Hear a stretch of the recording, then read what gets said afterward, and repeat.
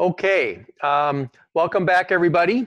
Uh, we are going to pick up where we left off last time, um, talking about distributed decision making. And, um, and just to set the context here, uh, consensus problem basically is one in which we have many nodes in the system.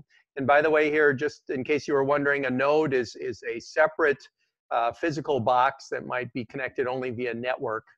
Um, some nodes can crash and stop responding, and eventually all nodes decide on the same value for a set of proposed values. So that's basically the consensus issue here that we're trying to solve. Um, and the key thing that makes this difficult is basically the fact that nodes might crash and stop responding, and then they come back, and we want to make sure that they uh, still, everybody kind of does the same thing, and that's what we're going after here. Uh, in a little bit, we'll also talk about what happens if nodes are actively malicious and trying to screw up the process, but we're not there yet. So distributed decision making is, uh, for instance, the notion of uh, all of the nodes are going to choose between true and false or commit and abort. These are kind of equivalent ideas. And it's going to be atomic in the sense that all of them will uh, decide on true or all of them will decide on false, but we'll never get a mixed uh, grouping of them. And equally important, but um, something that sometimes gets forgotten in this whole process is uh, making sure that once the decision is made, it's not forgotten. So if you have a set of nodes and they make a decision and then they immediately crash and lose all their information, then it's as if uh, they never made the decision in the first place. And this is, uh, just to remind you, this is the durability or D portion of ACID, okay? And um, in a global scale system, uh, D gets a little bit trickier, but we talked last time about erasure coding or massive replication um, or even blockchains uh, have a replication aspect to them for getting our durability. So we were at the very end of last lecture talking about two-phase commit. And really we came into two-phase commit because we couldn't solve the general's paradox. If you remember the general's paradox was two or more parties have to decide on a time in which to perform some action like attacking, and the uh, messages going back and forth are unreliable. Okay, and really, uh, what we showed is that this is uh, impossible to do. And uh, so what we're going to do instead is a simpler problem, which is we're going to get the machines to agree to do something or not do it atomically, but we're not going to force them to all agree on a time. All right. Um, and so the two-phase commit protocol, roughly speaking, has two phases. Uh, not surprisingly, right? The prepare phase is one in which a coordinator, and there is a single coordinator in this, basically requests that all participants make a promise to either commit or uh, abort or roll back the transaction. And participants are going to record uh, their promise in the log, and then they're going to acknowledge by saying whether they will commit or abort. And uh, the main, uh, the coordinator will basically make a decision to uh, either commit or abort based on what it hears from the participants. And essentially, if any of them say that they want to abort, then the coordinator will abort. And if all of them say that they're going to uh, commit, then only and only then will it actually uh, commit. Okay, so the commit phase is basically that point after we've heard from everybody and we make a decision that either everybody wants to commit, so we'll commit, or um, uh, somebody doesn't want to commit, in which case we'll abort. Okay, and a key aspect of this is the persistent log on every machine that's participating, both the uh, coordinator and all of the additional participants. And what is this log doing for us? Well, this is basically helping uh, those nodes remember what decision they've made so that if they crash and come back up, they will continue to make the same uh, decision. And this is where two-phase commit gets interesting because what we're trying to do is we're trying to make this uh, atomic decision in which everybody makes the same choice and acts on that same choice, regardless of uh, the fact that some of these nodes may crash and, uh, and come back in the middle of it. Okay. So let's set this up a little bit more. Uh, we were uh, starting to kind of look at the meat of this, and any of you who have uh, um, and any of you who have actually started in on uh, experimenting with homework eight will kind of understand what's going on. Now we have a question in the chat here, basically saying not yet convinced of this process. What if the coordinator fails to receive an abort? Well, if the coordinator fails to receive an abort, um, basically that's a timeout and it will assume it's an abort. Okay, so we can basically make uh, the decision that uh, any time we don't hear from somebody, we're going to assume that they're aborting. And you'll see that that allows us to keep our atomicity on this process. Now, um, so the coordinator basically initiates this protocol and asks every machine to vote on transaction. And the two possible votes that um, the, uh, the uh, participants can come up with is commit or abort. And uh, the commit only uh, will happen if it's unanimously approved by everybody. And the, uh, the coordinator doesn't receive, it, the coordinator waits until it receives votes from everybody. And if it times out, then it's going to assume that somebody was uh, going to abort and it will uh, treat that as such. Now, uh, preparing in the prepare phase, um, if a machine has decided to agree to commit, uh, what it does at the point that it's made that decision is it's guaranteed that it will accept the transaction. All right. And, and what does it do? Well, first of all, after it's decided that it's going to accept the transaction, it makes a, a little mark in its log uh, before it responds saying that um, it will remember the decision. So even if it crashes before it tells its decision to the uh, to the coordinator, if when it comes back up, it looks in its log and it sees what it decided to do, and it will keep with that decision once it's made it. Now, if it agrees to abort instead, we have the same idea. The machine is guaranteed that it'll never accept the transaction, even if it's crashed and comes back up again. And so this is re recorded in the log. And so the machine will remember that decision if it ever crashes and restarts.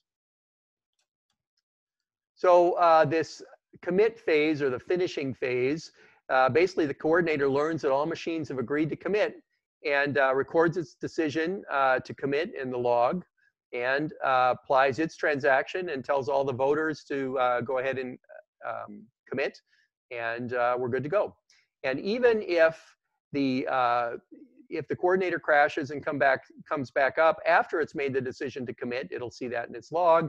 If it comes back up before it's made that decision, it's going to assume uh, that it's missed out on some uh, messages from the the participants, and it'll just go ahead and, and tell everybody to abort.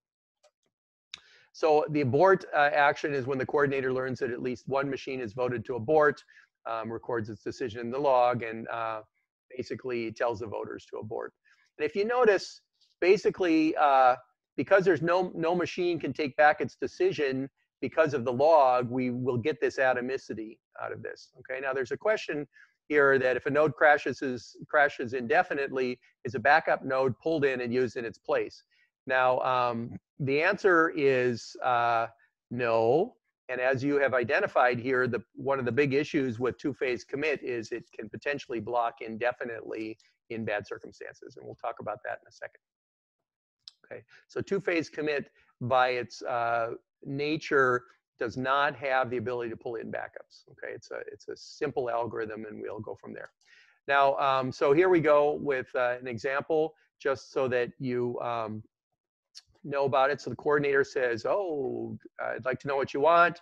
The workers uh, wait for that. And if they're ready to commit, they'll send back a commit. Uh, if they're ready to abort, they'll send back an abort. Uh, the coordinator waits until it hears from everybody. If it gets a vote commit from everyone, um, it'll send a global commit. Uh, otherwise, it'll say a global abort.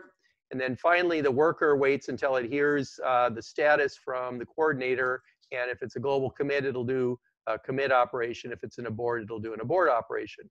And notice, by the way, that regardless of what the worker decided to do um, during the first phase, uh, it, if it hears that it's supposed to abort during the second phase, it will abort. Okay.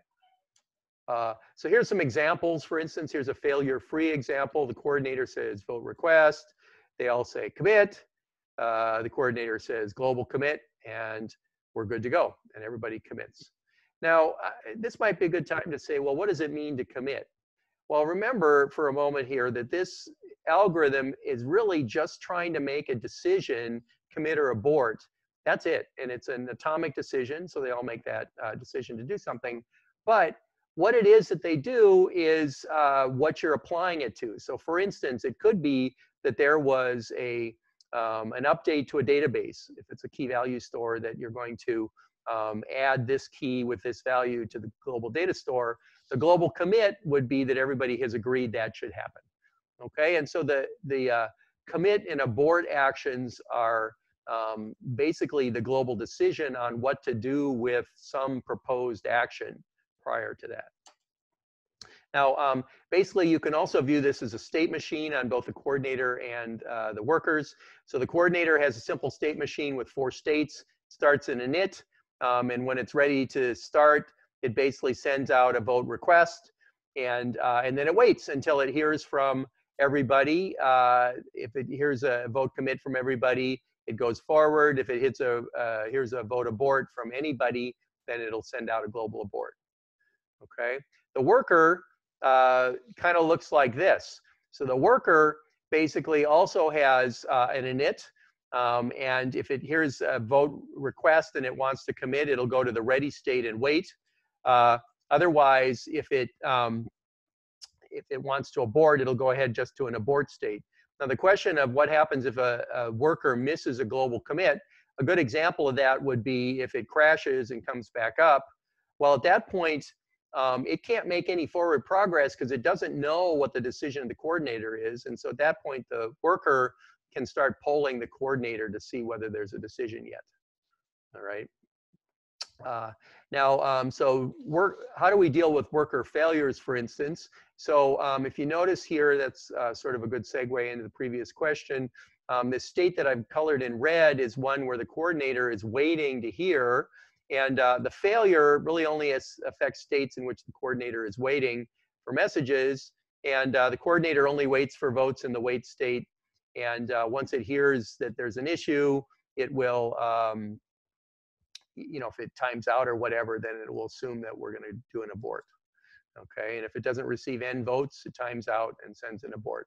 So the way that this protocol is set up is it's set up so that whatever failure cases might happen, we will always keep the main constraint, which is that either everybody agrees to commit or everybody agrees to abort and we don't get a 50-50 or whatever. Some of them do one thing and some of them do the other.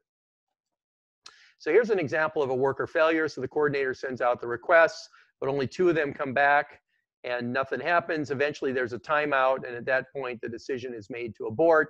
And since that's recorded in the log, by the way, even if the um, the coordinator crashes and comes back up, whatever, um, there'll never be confusion on this. And if the worker three eventually reboots, it can ask the, the coordinator and they'll find out that abort was what happened.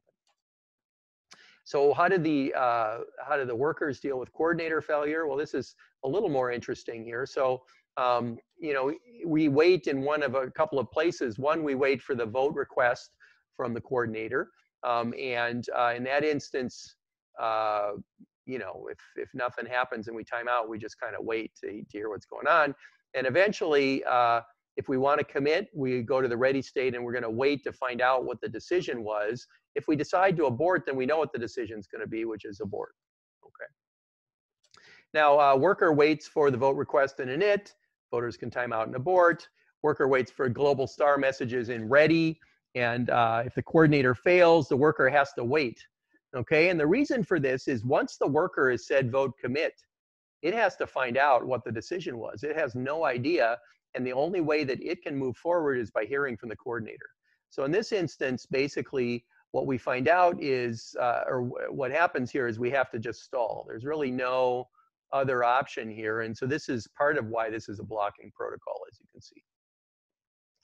Uh, so here's an example of the coordinator failing. Maybe it sends out vote requests, but nothing happens. We eventually time out and all the workers might abort in the init stage. Or here, uh, we send out vote requests. We go forward uh, by everybody saying committing, and eventually the coordinator uh, crashes. At that point, the, uh, the workers can't do anything. They're all waiting in that ready state. But when the coordinator comes up, it figures that it's missed some messages and it just says abort. All right. So uh, all nodes have to use stable storage to store the current state. And stable storage is basically non-volatile. It could be a disk, it could be SSD or NVRAM, whatever. Um, and on recovery, then nodes can restore the state and resume. So, you know, coordinator aborts and init waiter abort, et cetera. We can list all of these out. The key thing is that this algorithm is one such that no matter uh, when and, and uh, how the nodes crash and come back up, if we do the right thing with the log, we'll always maintain our atomic behavior um, where they all either decide to commit or they all decide to abort. Um, so really the kind of the key issue here is blocking for the coordinator to recover. Uh, you know, a worker waiting for global decisions can ask a fellow workers about their state, for instance. So if we're in the ready state and we don't know what's going on, we could ask other workers. Um, and if they've already gotten a global commit, then we can uh, take that decision and move forward. Okay. Um, does uh, some variation, the question that's come up is, does some variation on this system allow for non-unanimous decision-making, um, i.e. simple majority voting? So the answer is not the two-phase commit. So two-phase commit is an all or nothing. We'll talk about some uh, majority voting kind of options in just a moment here. Um, so if another uh, worker is in a border commit, then the global coordinator must have sent a global uh, message um, and the worker can safely abort or commit uh, respectively. And so basically there are cases in which we can uh, exchange information between the workers to find out what, uh, what happened if we missed it or it was lost. If another worker is still in the init state, um, then uh, both workers can decide to abort in that case, for instance. Um, if all workers are in the ready, uh, then we really need to block because we do not know really what the, the coordinator is going to do. You might guess, for instance, that, well, because they're all in the ready, they all said vote, commit, and so therefore the coordinator is going to choose to commit. But in fact, the coordinator might have crashed and come back up and lost its state. Um, and in that instance, it's going to abort. So we really have to wait when we're all in ready to move forward. Okay. So why is distributed decision making desirable? And the answer is fault tolerance. If we want to have a bunch of nodes together making a decision and we'll wait until they all make the same decision, then we know that we uh, aren't um, do, making our decisions based on faulty information. A group of machines come to a decision even if one or more of them fail during the process because we come back up again eventually uh, and move forward. And after the decision's made, the, recall, the result is recorded in many places, and so uh, we'll know what the decision was even if they subsequently crash. So why is two-phase commit not subject to the, the uh, general's paradox? I actually saw somebody ask that question um, on Piazza too. And really two-phase commits about all nodes eventually coming to the same decision, but not necessarily at the same time. And that's really, uh, we're allowing reboot and continue and reboot and continue to gather information so that eventually they all have recorded in their logs their decision and we can make uh, an atomic decision the general's paradox had this problem that we were never quite sure that our messages made it through, and therefore there was no way to settle on a time for sure. Okay. So an undesirable feature of two-phase commit is blocking, as we've mentioned. And uh, one machine can be stalled until another site recovers. You know, site B writes prepared to commit in its log and sends a yes to the coordinator and crashes. Site A crashes. B wakes up, checks its log, realizes that it has voted yes, and now it's stuck until um, B is basically blocked until A comes back. And so there really is nothing in this protocol that allows nodes to not eventually be present without blocking forever. Okay, and so that's an issue. And a blocked site essentially holds resources, which might be locks or pages pinned in memory or whatever until it learns the fate of the update. And so that's an issue. All right. So there's a number of interesting alternatives to two-phase commit. Uh, there's three-phase commit, which is one more phase and it allows nodes to fail or block, and it's more of a majority voting kind of scenario. It's a little better. Paxos is a very popular example. It's an alternative that's used by Google and others. Um, it does not have the two-phase commit blocking problem. It was uh, another protocol developed by Leslie Lamport. Mentioned him uh, last time. Uh, there's no fixed leader, and it can choose a new leader on the fly and deal with failure. This is extremely fault tolerant. There's some that would claim that this is extremely complex, and there's even been a lot of papers about, you know, taming the complexity of Paxos and so on. But Google seems to have done so, and uh, they're using it actively. Um, Raft is a, a, variant developed at Stanford, which is an alternative to Paxos, which the claim of John Ousterhout at Stanford and his students are essentially that this is much easier to understand and therefore much easier to implement correctly. Um, but that's a that's another uh, fault tolerant version. But what's interesting is what happens if one or more of the nodes is malicious, and this is uh, an interesting question where malicious is actively trying to screw up the protocol. All right, um, hold on a second. I'm going to pause. I'll be right back.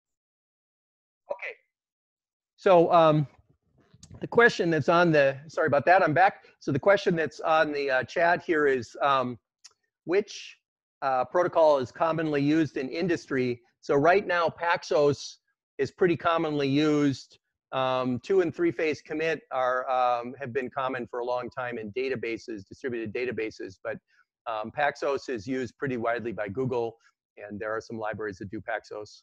Um, and, uh, so now, um, what happens? So there's another question here uh, with workers waiting once the server crashes. I'm not sure I understand that question. Did I miss the middle of it? Oh, okay.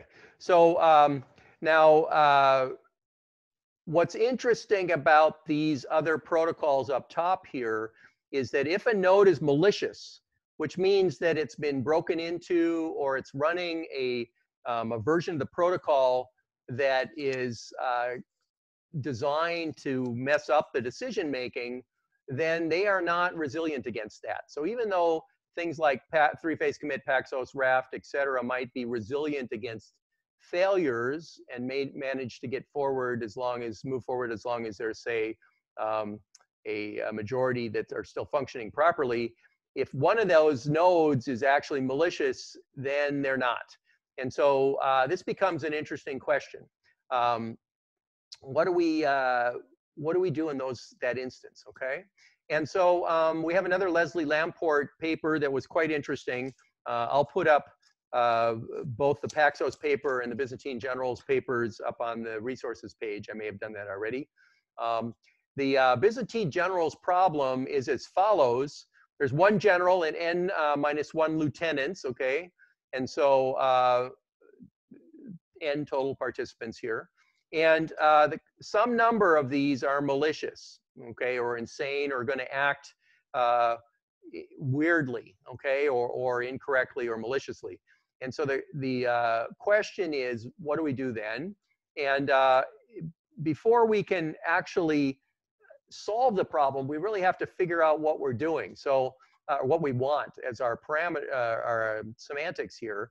And what we'd like is the commanding general is sending an order to all of his lieutenants, and we'd like the following integrity constraints to apply here. Uh, IC1 says all loyal lieutenants, which are those that are not malicious, obey the same order. So if you notice here, these two lieutenants um, are uh, the ones in the red hats, basically are both deciding to attack and if the general is loyal and not basically malicious, then the uh, the loyal lieutenants will do what the general says. Okay, so how could a general be malicious? Well, a general could tell all of his different lieutenants to do something different, and uh, in that instance, then um, we're going to say that the general is malicious. And what happens then is the remaining loyal lieutenants are all going to uh, do the same thing. Okay, so um, they're always going to have IC1. And in the good instance in which the general is loyal, um, they will also do what the general wants. Okay. Now notice that I've said here, I've sort of introduced some terminology so or some notation. So one of them is that um, there's going to be F malicious entities in the system here and N total entities. Okay. And um, so what's interesting about the original paper from Leslie Lamport is he shows that uh, we can't solve the Byzantine generals problem with n equals three because they're one of uh, malicious player can basically mess everything up. So here we have an instance where uh, one lieutenant is malicious, the general is not, this lieutenant uh, is not, so the blue ones are not malicious. And uh, the general tells each of them to attack, But the lieutenant, uh, the blue lieutenant, has no idea uh, whether the general is malicious or not. So it's got to find out what the uh, the tan lieutenant says, and the tan lieutenant says, "Well, the general told me to retreat." And so now this blue lieutenant is stuck because it has no way to make a decision uh, that will let him satisfy um, both the interactive consistency uh, constraints IC1 and IC2. Uh, in the case of the general being malicious, um, you know, it says attack to one and retreat to the other, then this poor lieutenant on the left is once again uh, lost because uh, he's hearing attack from the general and retreat from the lieutenant. And if you notice, these two scenarios, the one on the left and the right, are the same uh, as far as this uh, good lieutenant is concerned. And so basically, the uh, impossibility result says you can't solve this problem uh, with n equals 3. And uh, in fact, then it quickly generalizes to show that if you have f faults or f malicious nodes, then you have to have n greater than 3f total participants in order to solve this problem. Okay, so there's a bunch of algorithms that exist to solve the problem. Um, the original algorithm was uh, purely um, a thought process because it was exponential in n, which is never great, right? Uh, newer algorithms, uh, although new is uh, perhaps overstating it since they're from 1999, basically have a complexity that's about order n squared. That's supposed to be n squared, sorry about that. Um, in the uh, number of nodes, and so a message complexity of n squared is doable, but you're um, probably not going to want n to be too big. Okay, um, and uh, I will say that I've even designed systems with the MIT version of uh, of the Byzantine Generals solution, um, where we kept n to four or seven or ten, and not too much bigger, because then the message complexity gets pretty complicated at that point. So um, this uh, Byzantine fault tolerant algorithm, BFT, is what this Castro and Liskov algorithm is called. And it basically allows multiple machines to make a coordinated decision, even if some subset of them, basically less than n over 3, are malicious. Okay? And so what you can think of, again, going back to our earlier discussion of distributed decision making, is that requests kind of come in from uh, somebody, a client or, or one of the participants. They go through this uh, decision mill where they're running the uh, n squared algorithm that solves Byzantine generals problem. And as long as these red uh, malicious nodes are less than n over 3 uh, total, then what comes out are distributed decisions that are um, agreed upon by all the non-malicious parties. Okay, and so that's kind of a this is a pretty key advantage to a good uh, Byzantine generals solution is that we can have uh, a coordinated set of nodes that together come to a decision, even if a few of them are malicious. All right, questions on this?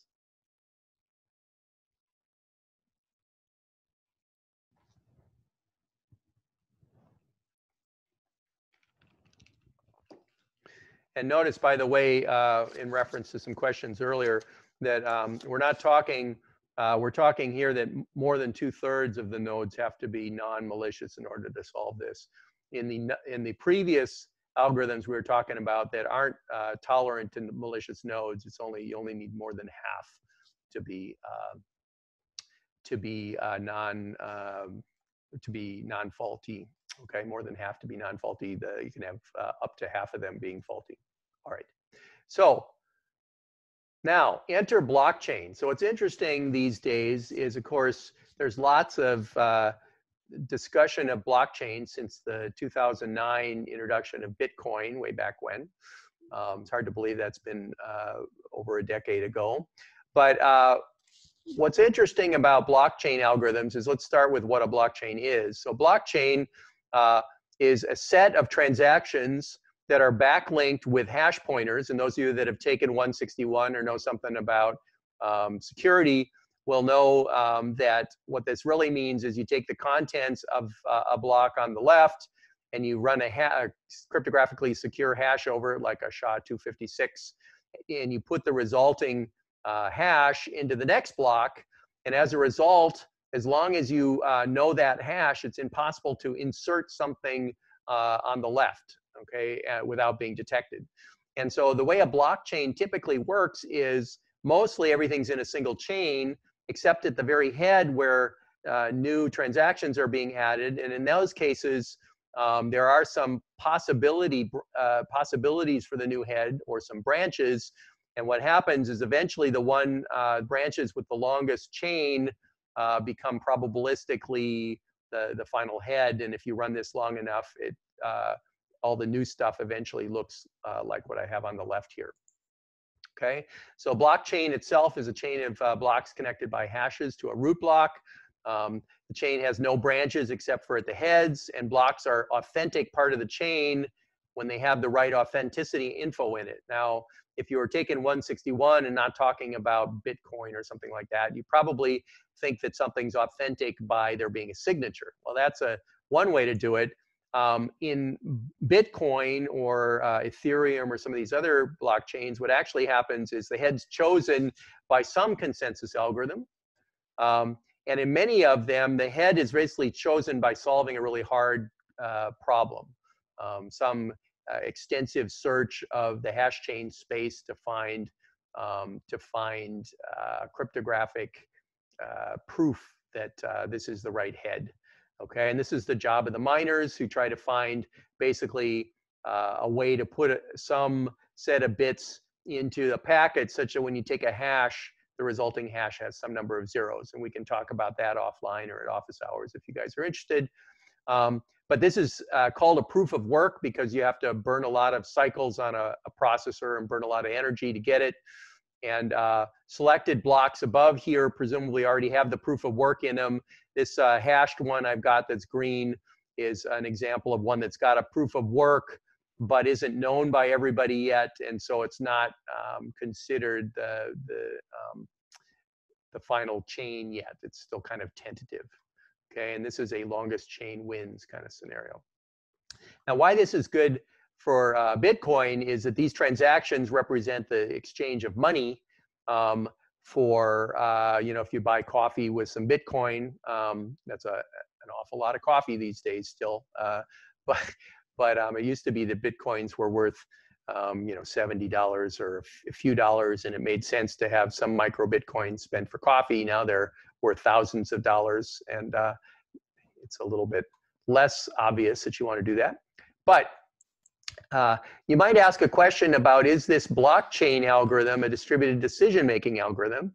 And the answer is really, you can think of it that way because once we've got some item uh, some choice of commit or abort that's in one of these solid green blocks that has been held on, that has been part of the long chain, then you can't change it. And so now it's a distributed decision that everybody will agree on. And so if you look at uh, the way that, for instance, a typical blockchain algorithm might work, here's the cloud. You've got these miners um, that are around the world trying to solve these uh, proof of work problems. And uh, what happens is they're basically copying uh, information to each other. Um, and uh, as soon as somebody solves a proof of work, it's very quickly replicated to everybody else. And that uh, person's uh, success at solving that problem uh, gets them a few fractions of a Bitcoin, and everybody hears about it, and that becomes the new head of the chain. Okay?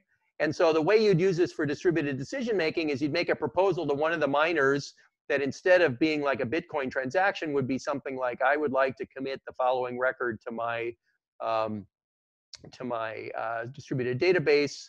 Uh, and depending, doesn't matter who you send it to, eventually they send it to everybody else and those transactions get put into the blockchain and um, they become distributed decisions. Okay, and so a decision in this case means the proposal is locked into the blockchain. Could be a commit abort decision, could be a choice of, a choice of some value or state transition, whatever. Um, you know, if you put give a proposal and you get a NACK back, you might have to retry because something went wrong. But once it's in the blockchain, then everybody can observe it. And those of you that know anything about uh, Bitcoin know that um, there's a, a, much smaller number of miners than there are people that are, are observing and using the blockchain. And pretty much anybody who gets a copy of the blockchain can verify the decision. So we have the nice uh, property with blockchains here of um, basically the decisions that are locked into the blockchain can be verified by everybody.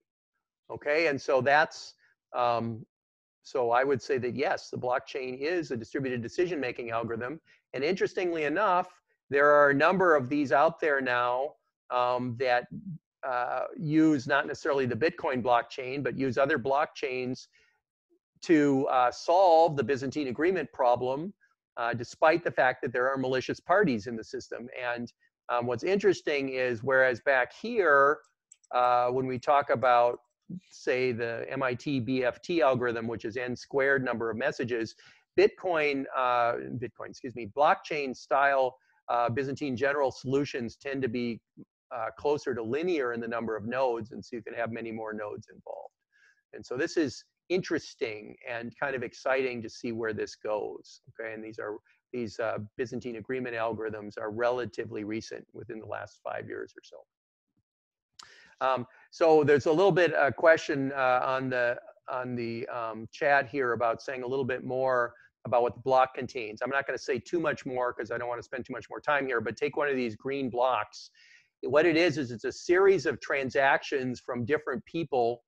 Um, so when you, when different people propose a transaction, it's epidemically sent to everybody. And what the miners do is they collect all the new transactions into a block, and then they uh, and then they start adding numbers to that block and hashing it and that's the problem they're solving and the first one to figure out sort of which four bytes to add to the set of transactions such that the new hash over it is uh, got a, number of zeros uh, that's specified by the current state of the system uh, solves the problem and gets the gets the coins. And so from the standpoint of us discussing byzantine agreement here really what the proposals are they go into these green blocks and those proposals are things like commit or abort and usually have attached to them you know commit this key value uh, pair to my global store.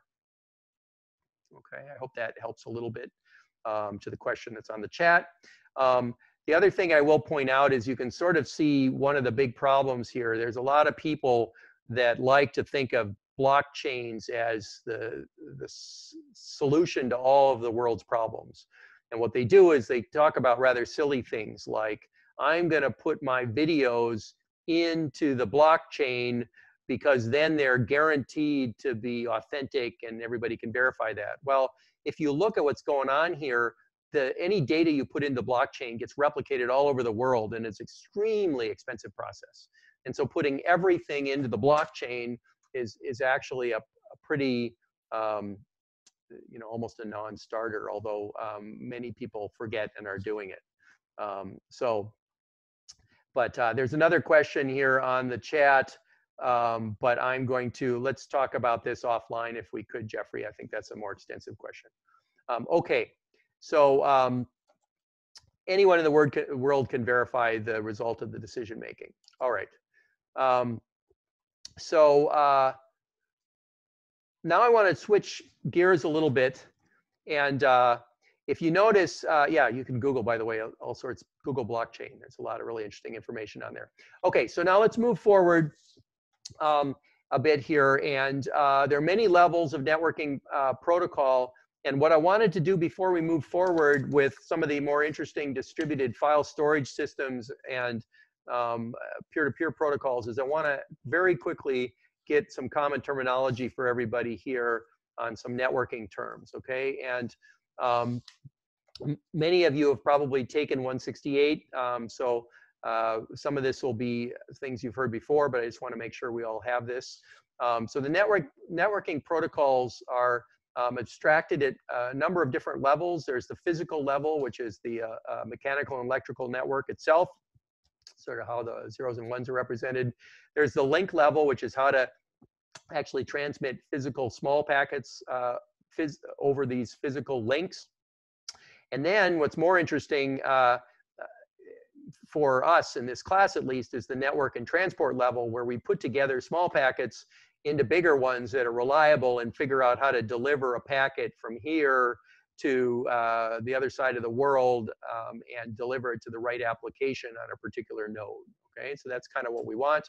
So protocols on today's internet, um, sort of showing you at least these kind of three layers there's really four of them illustrated here. The physical and link layer are things like Ethernet or Wi-Fi or LTE. That's one hop worth of communication.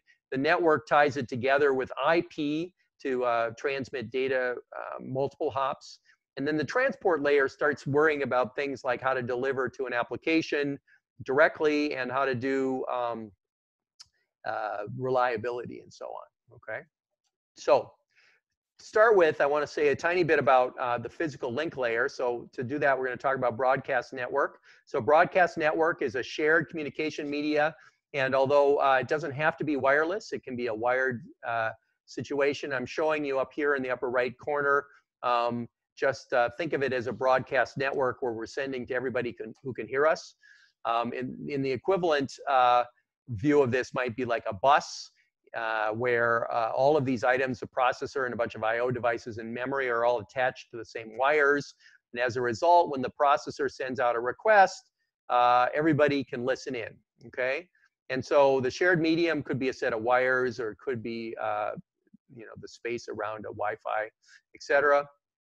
Uh, what's perhaps interesting here is Ethernet in its original incarnation actually uh, was used as a broadcast media where you had a whole bunch of uh, items. Here's three workstations and say a router all connected over to the same cable. And all communication basically went to everybody all the time, okay, in a local subnet.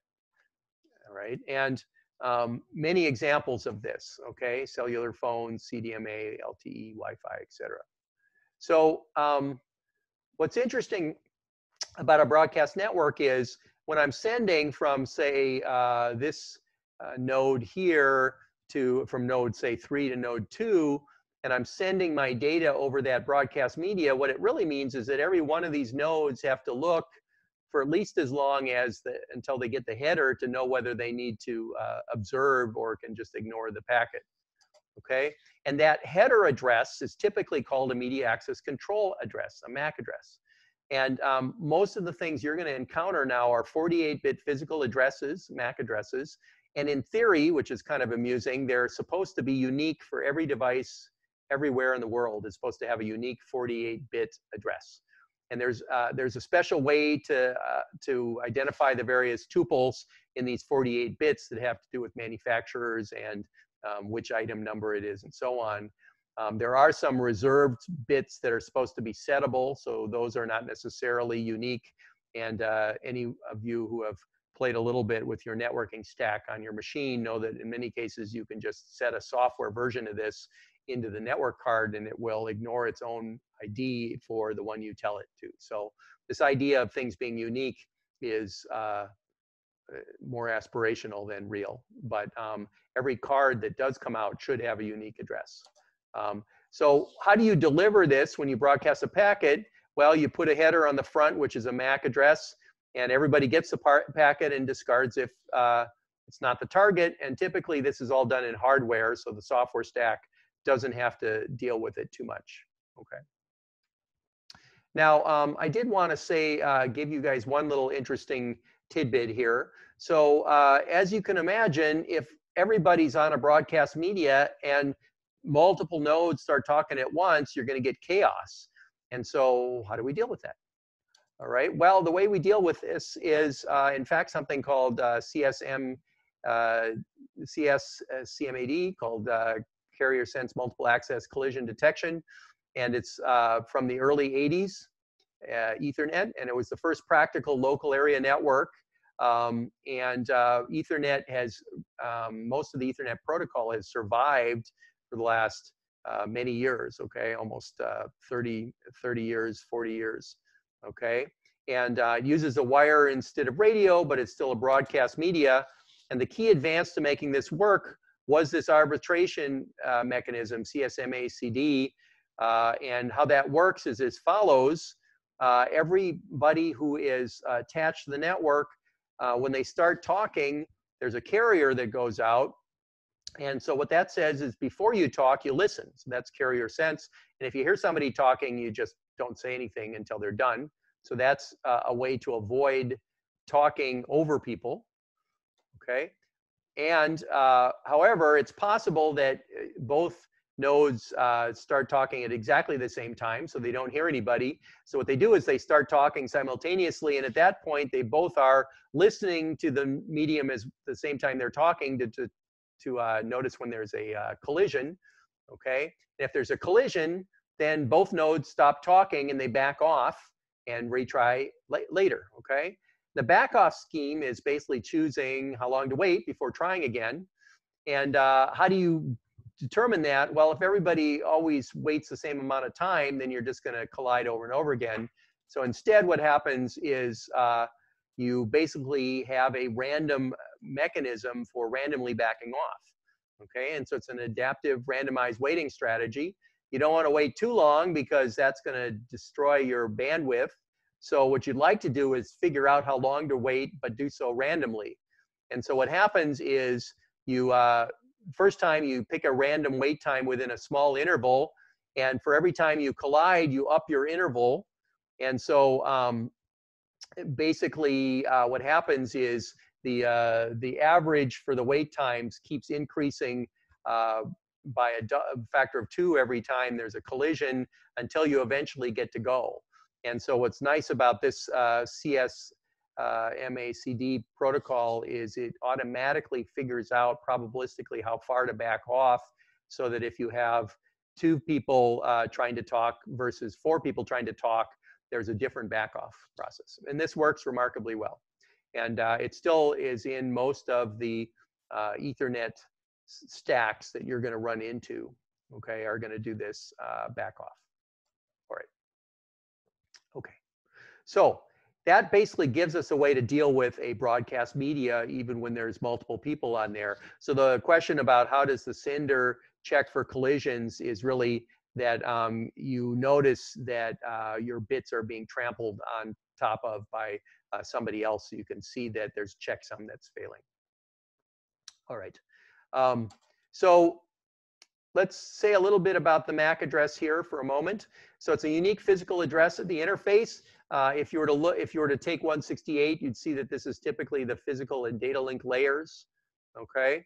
And uh, what's interesting is I just wanted to mention uh, for those of you that uh, might take a look on your phones, you can see that the Wi-Fi um, uh, hardware of your phone has this 48-bit address. So um, notice this is six uh, double hex digits, so that's 48 digits. Um, and also, uh, if you do something like if config on a Windows box, etc., uh, you can see that like here's the wireless LAN, uh, LAN adapter has a 48-bit MAC address, and your Ethernet adapter has one as well. So every one of your physical system items in the system have a, a MAC address. So um, you might ask yourself, all right, so why have a shared bus at all? why not simplify and only have point-to-point -point links? And the answer is, well, originally it wasn't cost effective. Uh, originally, it was much easier to drop a cable that snaked around a whole floor. In fact, I, um, my, uh, where I was graduate student originally, we had one of these that was uh, up in, um, in the ceiling and they dropped down and we attached it to every one of our machines and there was a shared media for uh, every network, uh, for every machine on the floor, okay? Um, however, you can imagine that's got bandwidth issues because you'd like to have point-to-point -point networks where only the communicators are actually communicating. And so that would be a network in which every physical wire is connected to only two computers. And so how do we do that? We get a switch, all right? And so in that instance of a switch, what we have here is the switch is a piece of hardware. We've got point-to-point -point connections Okay, and this is a bridge typically that transforms the shared uh, bus broadcast media into a point-to-point -point network. And uh, you can buy switches pretty much anywhere. You can get them at Fry's for Ethernet. Uh, and what happens here is even though you can, in principle, broadcast or multicast everybody uh, that's connected to the same switch, if you're just doing point-to-point -point communications, the switch adaptively learns where all the, what all the MAC addresses are. And when you send a message addressed to a particular MAC address, then the switch basically just routes it internally to the right port. And now I can get uh, as many pairs as I've got going here, depending on uh, how much bandwidth my switch has. Okay. Now, a little different than that is a router. And what a router does is it basically is a way of transferring packets from one switch domain to another. And so when you go across a routing domain, they're not routed by MAC address and something else has to happen. And this is the point at which IP comes into play. All right, so we're going to take our brief break here and uh, we will be back in just a second. Okay, so uh, so IP, um, as you're all aware, is the protocol that has really taken off. It wasn't the only protocol originally for uh, routing across physical domains, but now it pretty much has taken over. And uh, basically, it's a way of getting packets from some source to some destination, uh, no matter how far away it is. And so this is the uh, internet's network layer. So if you were taking 168, you'd see third layer protocol. And the service that it provides is best effort. So what does that mean? That means that when I send packets from source to destination, they can get lost. Um, or they can get uh, corrupted, or they could get duplicated, or they could uh, arrive out of order. Okay, and so really, um, you might say it doesn't guarantee much, but surprisingly, it guarantees enough to um, make our very interesting packets, uh, very interesting um, applications that we're all uh, used to, that we know and love. Okay, and um, so the IP packet itself uh, is called a datagram, and this is a datagram service which uh, can route from source to destination across many hops across the planet. Okay, and so that's remarkable that it works as well as it does. Okay, so um, there are IPv4 and IPv6 addresses. Uh, the IPv4 uh, address space, which is much more common still, uh, has an address that's a 32-bit integer. So notice that's different from our 48-bit MAC address. Um, and it's the destination of the IP packet. It's often written as four dot separated integers. So here's an example. Uh, for instance, at one point, the file server for CS was 169.229.60.83. Um, sometimes you see it written as, uh, as a set of hex digits like OXA9E5, 3C53, etc. Okay. Um, a host on the internet is a computer connected directly to the internet, and the host has one or more IP addresses used for routing. Um, some of them may be private and unavailable for routing, so not every 30 of the 32-bit addresses can go everywhere, um, and I'll say more about that in a moment. Um, but groups of machines may actually share a single IP address, and uh, in that case, uh, we can get what's called network address translation.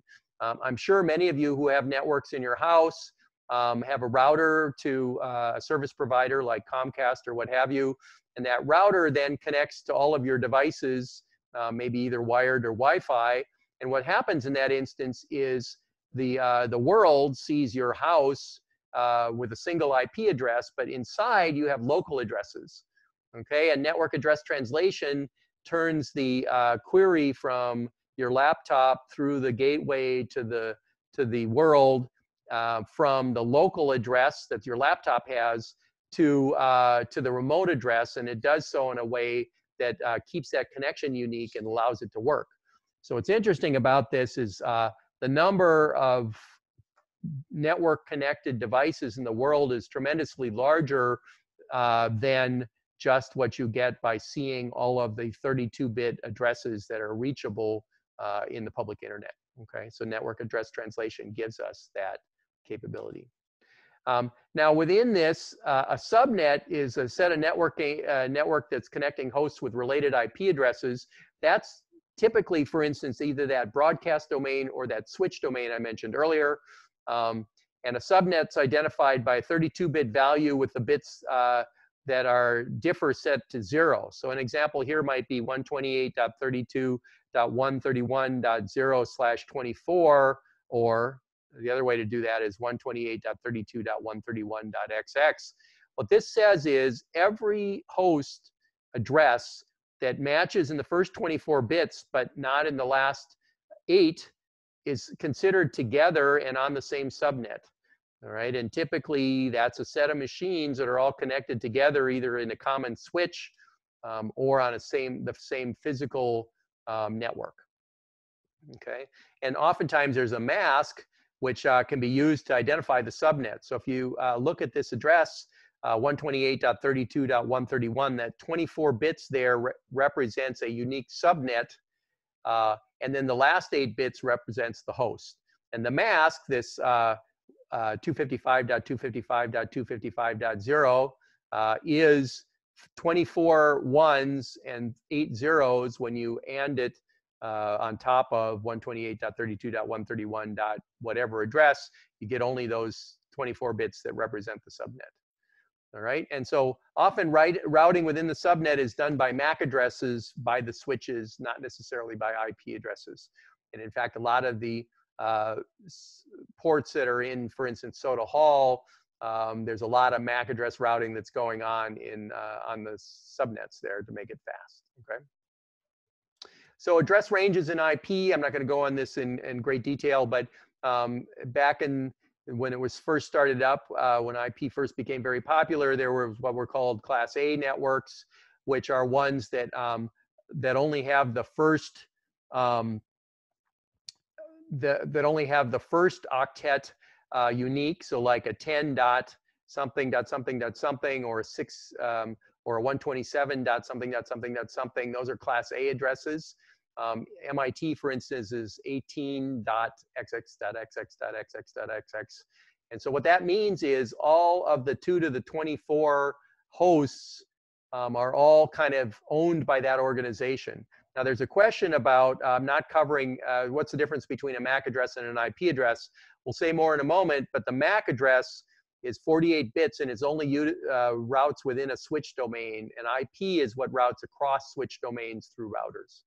Okay, so think of a MAC address as a physical uh, address attached to a, a, an actual network card, and an IP address is a, um, a virtual host address that is used for routing on the larger scale. So um, class A basically is a slash eight network where the first eight bits are unique. Class B, the first 16 bits, and class C, the first uh, 24 bits. And um, some of these are what are called private networks. So for instance, 10 dot uh, something dot something dot something is a private address that's a class A. And so if you were to use the VPN at Berkeley and log in, you'd find that your computer has a 10 dot something address associated with that VPN. Um, commonly, if you buy a router at Fry's or at Best Buy and you um, put uh, you put one of those routers on uh, on your network, you'll see that the 192.168 is a very common class C um, network that's used a lot um, and is private, okay?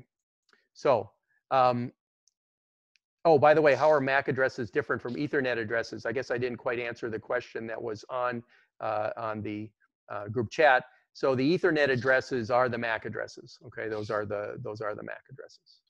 Okay, so address ranges are often owned by organizations and can be further subdivided into subnets. So for instance, the, um, you know, I said uh, MIT is one of few, the few institutions that actually has a class A uh, address. And um, they certainly don't have two to the 24 hosts all tied to a single physical domain. Instead, they're all divided into a bunch of subnets, which are then physical domains. But um, the Class A address is something that MIT has full control over those addresses. All right. Now, the IP4 uh, format, as you've seen if you take taken 168, um, is a set of uh, bytes that go in front of uh, the data. All right, and um, it's a well-defined format. I'm not going to go into it in detail, but what you can see here is, for instance, if you look uh, in the packet header, um, there are there's a four in there for IPv4. There's a total length of the packet um, in bits. There's some flags. There's a checksum. Um, and then there's a source and destination IP addresses. So the source address is where it comes from, and the destination address is where it's going to. And this is a basic IP datagram. All right, and this is sent unreliably from one host to another. Notice there are no ports in this. We'll get to ports in a second, but IP uh, can only go from machine to machine, not from application to application. All right, so now what's a wide area network? It has many of these physical domains. Okay, so the internet is a wide area network. Um, it connects multiple physical data link layers with routers. So you can see these routers. What goes on inside of the subnet is kind of up to the owner of those devices. So even though I kind of show that host A um, enters into this uh, domain and then goes through R2, R4 uh, to the destination, it's possible there are other hops inside here which are handled by the owner of this domain, um, either via MAC addresses or something else. Uh, the data link layer networks are connected by routers, as I mentioned here, okay? And we can, uh, we'll see mo say more about a router here. So a router forwards each packet received on an incoming link to an outgoing link. So here the router is circled, and what this says is that if a packet needs to go from point A to point B, and it goes through a router, we have to make sure that when it arrives at the router, it knows, the router knows what the next hop is, okay?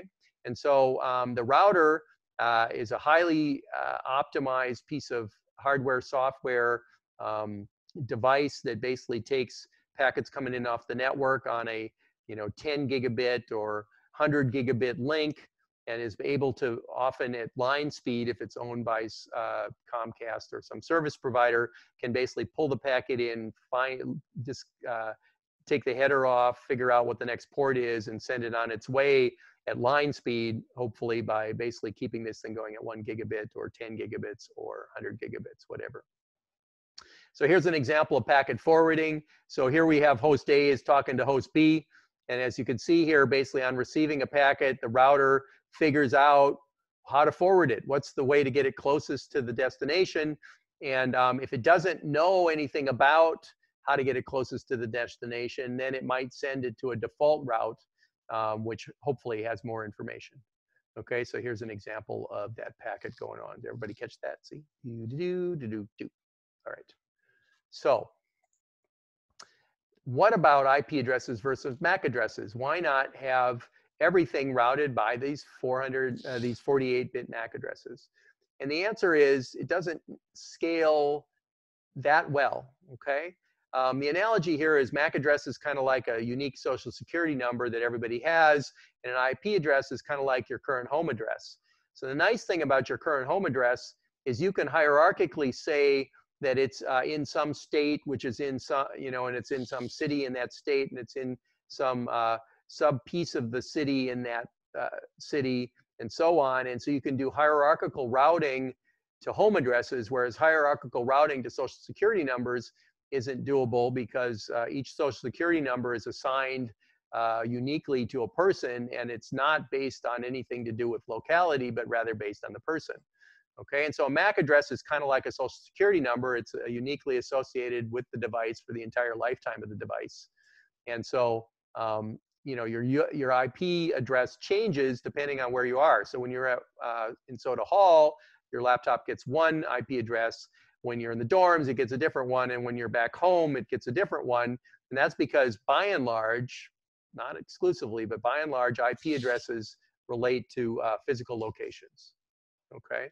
Um, and so if you look, basically, uh, if we move, then um, we're moving our address to something new, and therefore it's easier to route. Okay. So I, um, so why uh, does packet forwarding use IP, uh, uh, and why is it scale better? So we just kind of said that, but uh, specifically IP addresses are aggregated and hierarchical. Okay, so I, all IP addresses at UC Berkeley might start with an OXA9E5. Okay, in reality, there's 128.32.da and 169.229.da. Those are the two ranges that represent UC Berkeley addresses. Um, but it's that aggregation that helps the routing. Okay, all right, I think I've said enough on that. And yes, there is somebody who's noticed that the first uh, few digits of the social security number uh, were originally based on sort of where you were born, but people move around a lot and uh, the social security numbers are in the position, I think, of being recycled now. So um, I think that original locality of social security numbers is, uh, you know, there is no actual locality uh, as a result. Okay. So how do you how do you set up the routing tables? Well, the internet has no central, centralized state. Uh, no single machine knows the entire topology of the internet. In fact, it's fascinating um, to read books on the topology of the internet because the internet is a whole series of loosely collaborating administrative domains that have uh, a set of agreements with between each other, and there's cross point places where certain classes of I or certain groups of IP addresses will route quickly, while other ones will route more slowly, and this is all based on uh, agreements. And so um, no single machine knows the topology, and the topology is always changing, and there's faults and reconfigurations and so on. And so uh, you really need a dynamic algorithm that somehow acquires the routing tables so that we can even figure out how to get a packet onto its next hop. And so there are many possible algorithms you could imagine. Okay, one of the the one that's uh, common now is called BGP, uh, but the, you know the routing table has a cost for each entry that sort of reflects how many hops it will take to get to a certain destination address, and there is some optimization for hops. Okay, and neighbors periodically exchange routing tables to try to make this uh, to to optimize for cost. The problem is this particular uh, algorithm um, that optimally uh, tries to eliminate uh, or optimally tries to have the fewest number of hops square uh, scales is n squared and so that's not generally what's done in the internet instead there's basically whole groups of addresses that are um, run at different scales and so on and so uh, your path from point a to point b is certainly not optimal in the internet and in fact sometimes um, there are loops and so uh, you can actually have situations where packets on their way to their destination get routed in a loop and they just keep looping around and they would loop around forever if it weren't for the fact that there's a time to live field that keeps getting uh, decremented and eventually they time out and go away. Um, and there have also been some pretty interesting disasters uh, back in the, um, I think in the early 2000s, there was a single tunnel that had fiber that partitioned the internet. And so one side of the internet was on one side of that fiber and the other side was on the other. And there was a truck fire in there and it actually took out the ability to communicate across the internet uh, until they fixed it. Okay. There's a lot more redundancy now, but um, this is a pretty chaotic process and it's fascinating. Uh, good reason to take 168. I'm sure they talk about internet routing. The, the other thing I want to talk about here is these internet uh, or these IP addresses either uh, IPv4, which are 32-bit IP addresses, or IPv6, uh, which are 128-bit IP addresses, uh, are really not necessarily ones you can remember easily. And so really, since we've got humans in the picture, we need to go from name to IP address somehow. And how do we do this? You know, we want to map something like www.berkeley.edu to 128.32.139.48 or google.com to, believe it or not, the closest Google uh, facility that can service you. So um, these human readable names need to go to IP addresses so that the underlying system can then route them. And how do you do that? Uh, well, you need a system that um, goes from human names to IP addresses. And uh, this is necessary basically because you know humans have trouble remembering IP addresses um, unless they are particularly attached to them. Uh, and IP addresses also change. So uh, if one server crashes and an alternative comes up, you'd like the name that the humans are using to automatically switch over to the new one uh, so that um, they don't have to know that there was even a failure. And so the mechanism for this, as many of you know, is called the domain name system. Okay, and the domain naming system is hierarchical. Okay, so there's a top level uh, of the hierarchy that's uh, managed by a centralized organization. And then um, uh, for something like berkeley.edu, the next level down is edu, and then there's berkeley.edu, and then there's eecs.berkeley.edu, et cetera. All right, and so it's hierarchical, and organizations own parts of the hierarchy. Okay, and this top level organization is just a really big organization that's global. Okay. So it's a hierarchical mechanism for naming. Names are divided into domains uh, right to left, as I mentioned. Um, so start with edu, then Berkeley, berkeley.edu, then eecs.berkeley.edu. And uh, let's see, resolution is a series of queries. So when you're uh, somewhere and you want to get to, uh, you know, mit.edu, then um, here I'm attached at Berkeley. I might see whether my local cache has a has a um, address. And if it doesn't, then you work your way up the hierarchy to get to um, the edu uh, domain, which will then tell you where mit.edu is, and then it'll uh, send it back to you for a full resolution, or it may tell you how to get to mit.edu, which then has the server you're really interested in. Okay, and there's caching because this is expensive, as you can imagine.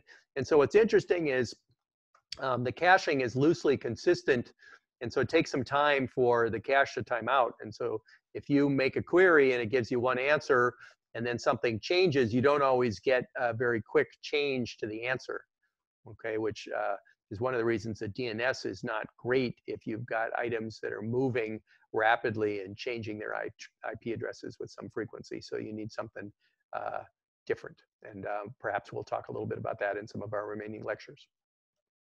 But how important is this correct resolution? So if you notice, when I'm trying to get to a particular server like www.berkeley.edu, I need to know that it's 169.229.131.81. And I want to do that in a way that um, maybe a malicious person can't get in there and, and give me the wrong answer because that could, at minimum, deny me service. And it, uh, it could also potentially be a security hole if I um, am not careful and notice that uh, this server is not the one I thought I was talking to. Okay. Um, so uh, how important is the correct resolution?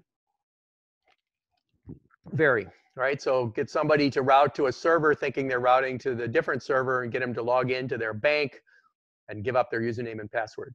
Now, of course, um, one of the ways that banks prevent this is by having certificates, but certificates can also be faked under some circumstances. And so uh, incorrect DNS resolution complete with a breach top level uh, certificate can lead you to route to something and give up your username and password if, uh, if the wrong sort of circumstances happen. So you might ask, is DNS secure? It's definitely a weak link in this whole process because you think you're talking to one thing and you're actually talking to something else. Uh, and the answer is DNS is uh, not always been secure. Uh, what was interesting is in July 2008, there was a hole in D DNS that was located, um, and a security researcher actually discovered it and then quickly informed uh, a bunch of authorities about this before it was published uh, in a conference. And it was a very high profile uh, problem. And basically, uh, because DNS wasn't properly authenticated, it was possible for one node to send out a query to uh, to a top level um, DNS server, for instance, and somebody quickly comes in and gives a different answer, uh, and it wasn't noticed that the person answering wasn't the one that we were asking uh, the question of, and you could actually pollute the DNS caches of a whole uh, ISP uh, in one swell foop, so to speak, one fell swoop. Sorry, joking. And um, as a result, uh, this was a pretty serious bug. All right. So uh, DNS is definitely a weak link and it's had many uh, upgrades over the years here. So, um, so now moving on, we need layering in our network, which is building complex services from simpler ones. The physical link layer is pretty limited, okay? So um, basically, if you look at what can go on an ethernet link or a, or a Wi-Fi link, there's a maximum transfer unit size that's often in the 200 to 1500 bytes in size. And um, across slow links, uh, the MTU can get small, okay? And so packets actually have to be fragmented up into small pieces to get over long distances, and they have to be reassembled uh, or something in order to basically allow us to do something large. So our goal in the following uh, few slides, and we're going to pick this up next time as well, is basically going from the physical reality of the networks to the abstraction we really want. So we're going to go from packets which are limited to messages which are potentially unlimited. Okay, and this is kind of like our virtual machine abstraction we talked about at the very beginning of the le lecture, or at the very beginning of class, I mean. Um, so packets are of limited size, but we would like arbitrary size communication. Packets are not ordered uh, all the time. They can be reordered. We'd like ordered messages. Packets may be unreliable and lost. We'd like reliable ones. Uh, packets, basic communication is machine to machine. We would like it to be process to process instead. Um, packets might be only on a local area network, so using the MAC addresses, whereas what we'd like to is route them anywhere. Um, they might be in asynchronous uh, because they're just sort of being sent when the hardware is ready, where perhaps we want something synchronous where we can do some synchronizing on it. Um, packets might be insecure. We want secure ones. And so this is basically an abstraction process of giving us a better communication uh, mechanism than what the hardware gives us. Okay, so that's a theme that we've had throughout the term. So um, process to process communication is a good one to start with. So, uh, you know, machines have an IP address. And so um, that's a machine to machine communication. What we really want is routing from process to process, uh, which, you know, process on machine A to process on machine B. And the way we do that, as we've talked about earlier, is by adding something in addition to the IP address, we're going to add ports.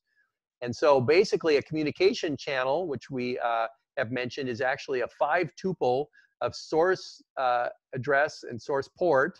That tells us what application we're talking to at the source side.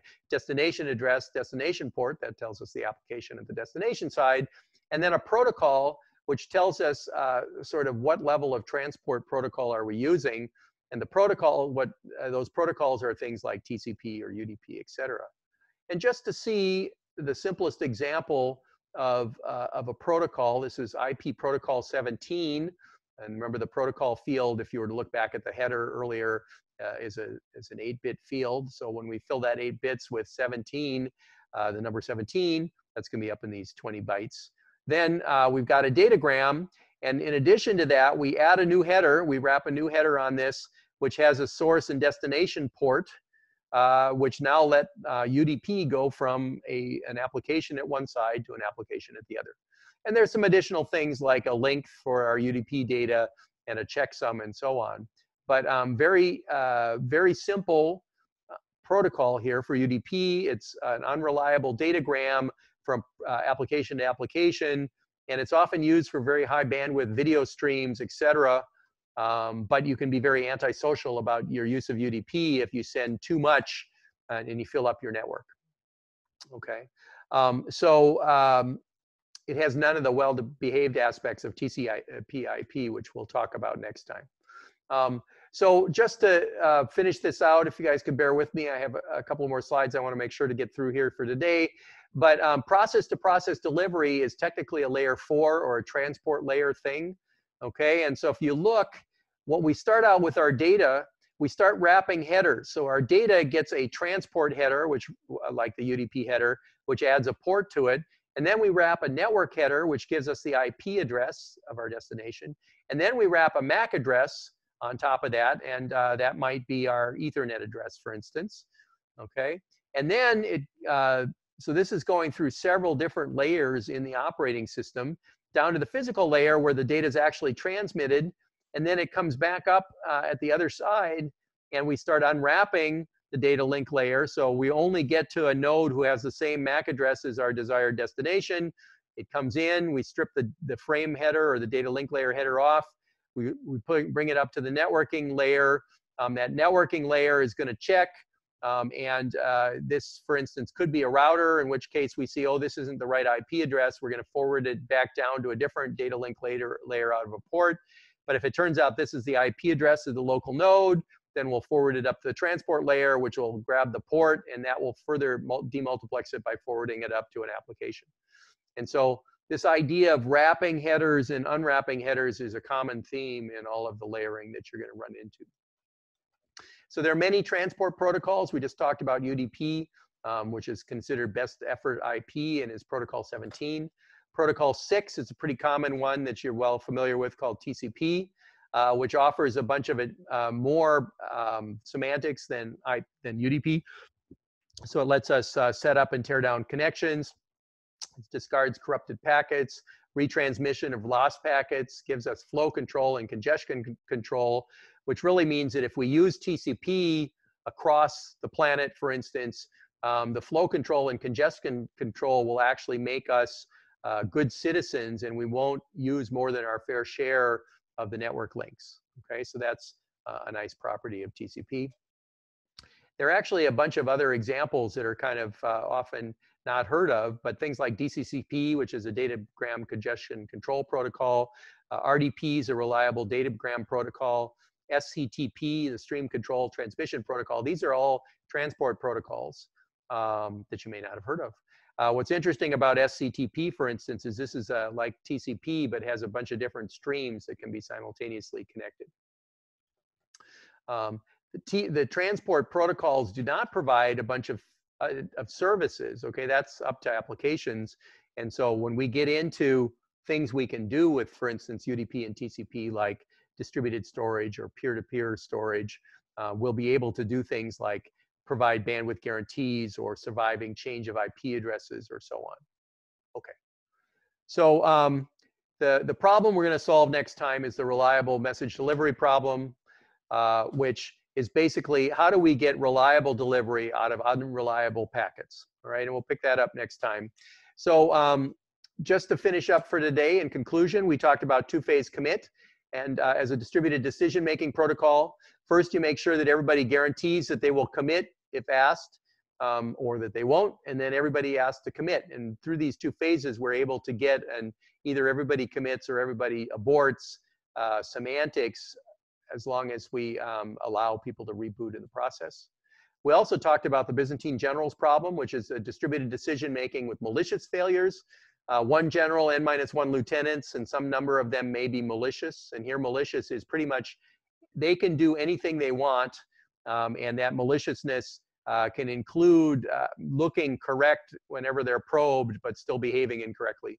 And what we see is that um, it's only solvable as long as uh, the number of nodes is greater than or equal to 3f plus 1. Uh, we also talked about how blockchain protocols can be uh, used for distributed decision making as well. So we started talking about IP, which is a datagram packet delivery used to route messages uh, through routes across the globe, 32-bit uh, addresses for IPv4 and 16-bit ports. Um, we talked about DNS, which is the uh, system for mapping from names to IP addresses. Um, flaws that have been discovered uh, are problematic and they've been continuously fixed as they show up. Um, we started talking about uh, how to get good semantics and next time we're going to talk about ordering and reliability. Okay, so um, we'll, we'll finish at this point. Uh, I hope you all have a good Wednesday and we'll see you on Thursday.